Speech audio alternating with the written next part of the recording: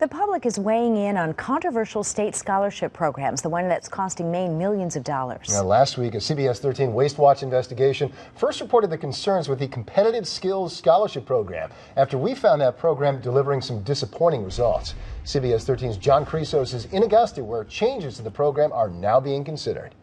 The program has cost the state more than $6.5 million, but those who run it are disappointed with the high dropout rate and now want to make some sweeping changes. I'm going to pray that they consider the rule changes because I want to be a graduate of the University of Maine come the year of 2014. Susan Alexa has Thank been part of the much, state's Susan. competitive skills scholarship program since 2009. She wanted to go back to school after she got laid off, but needed some extra support and services.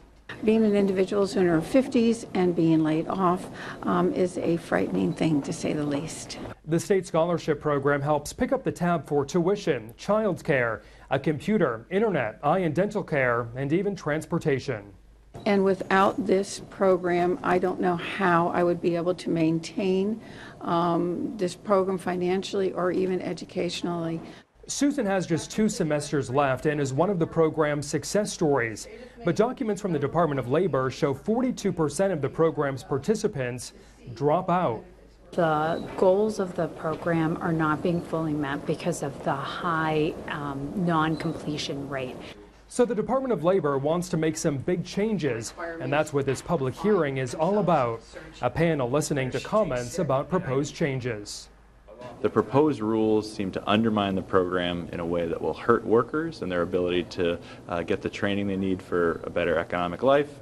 As our Waste Watch investigation first reported last week, the new rules would cut the time it gives students to finish a four year degree from eight years down to five years. That life gets in the way, and instead of taking a hiatus and coming back, they take a hiatus and never come back and never complete. It would also reduce coverage for support services like childcare, car repairs, internet bills, and eye and dental care.